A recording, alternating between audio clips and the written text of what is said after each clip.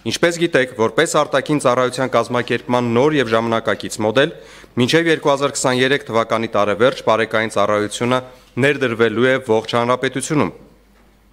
Հաշվետու ժամանակահատվածում գործարկվել են Լոռու եւ Շիրակի մարզերի բարեկային ծառայության ստորաբաժանումները, ավարտվել է Գեղարքունիքի, Կոտայքի, Տավուշի եւ Արագածոտնի մարզերի բարեկների ուսուցումը, իսկ նշված մարզերում ծառայության մեկնարկը տրվել է սույն թվականի հունվարի 21-ին։ Նաև վերջնականացրել ենք համայնքային ոստիկանության վերաիմաստավորման եւ քրեական ոստիկանության ստեղծման տեսլականները, որոնց ձևավորման ուղղված օրենսդրական փաթեթներն արժանացրել են կառավարության հավանությանը եւ քննարկվում են ազգային ժողովում։ Ինչ վերաբերում է ոստիկանության գվարդիային, ապա նշեմ, որ Եվրոպայի խորհրդի աջակցությամբ մեկնարկել ենք նոր ծառայության օրենսդրական փաթեթի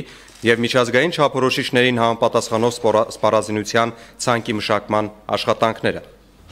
Խոսելով ոստիկանությունում իգական սեռի ծառայողների թվականակի ավելացում արդյունքային չափորոշիչի ապահովման մասին, պետք է փաստեմ, որ այն ըստեյության ապահովվել է եւ կազմում է 18.4%, կանխատեսված 18.8%-ի փոխարեն։ Հարցի համատեքստում նշեմ, որ կարևորելով ոստիկանությունում գենդերային հավասարության ապահովման խնդիրը, մեր արժև հավակնոտ նպատակ ենք դրել բարեկային ծառայությունում կին ծառայողների թվականակը մինչև 2024 թվականի ավարտն հասցնել 30%-ի, անցկացնելով կին ծառայողների թիրախային ընդունելություն։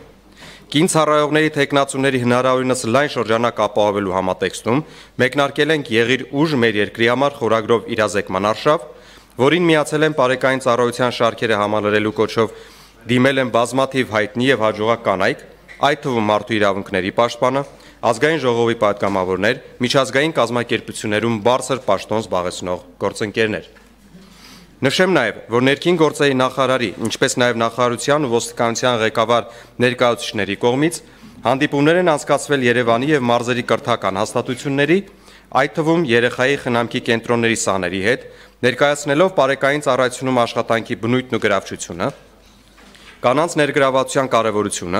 կարիերային աճի հերանեկարները, ինչպես նաև ընդունելության գործընթացին վերաբերող անհրաժեշտ տեղեկություններ։ Ընդ որում, այս թիրախային խմբից արդեն բարեկ դառնալու ցանկություն է հայտնել 283 տեխնացու։ Զուգահեռ բարեկային ծառայության շարքերը համալրելու համար կանանց նպատակային ընդունելությանն ընթരാճ նախաձեռնել ենք արցանց նախագրանցման գործընթաց, որը նպատակ ուներ որոշակիացնել տեխնացուների թիվը, գույքագրել կանանց դիմելիության համար խոչընդոտ հանդիսացող հանգամանքները, դրանց վերացման ուղղությամբ անհրաժեշտ միջոցառումների իրականացման համար։